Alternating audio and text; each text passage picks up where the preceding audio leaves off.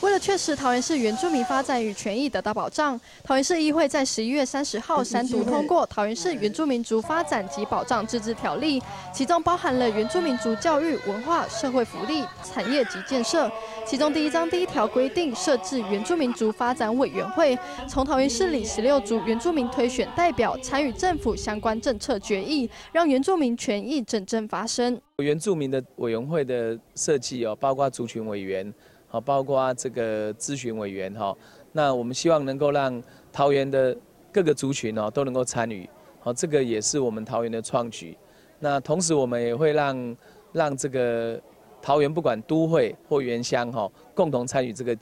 呃委员会跟基金会的的运作。桃园市原住民族发展及保障自治条例内第五章第一条提到，明定都会原住民族传统文化聚落之协助，像是河岸部落。原民局表示，桃园市内大多原住民住在都会区，希望透过此条例能够保障住在都市族人文化及传统。比如说，他们有自自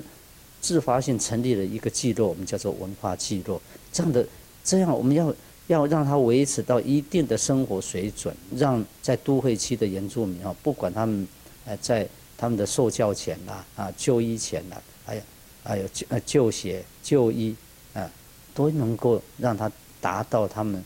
应有的基呃应有的基本生活的水准哦。条例中将设置原住民族发展基金，明年核定三千万预算，将会运用教育文化里，像是办理文化祭典活动等；社会福利条例，像是特别保障长者、妇女、身心障碍或儿少相关权益；产业建设与发展里，像是协助原住民族地区受灾部落重建等等。记者罗瓦八号桃园市采访报道。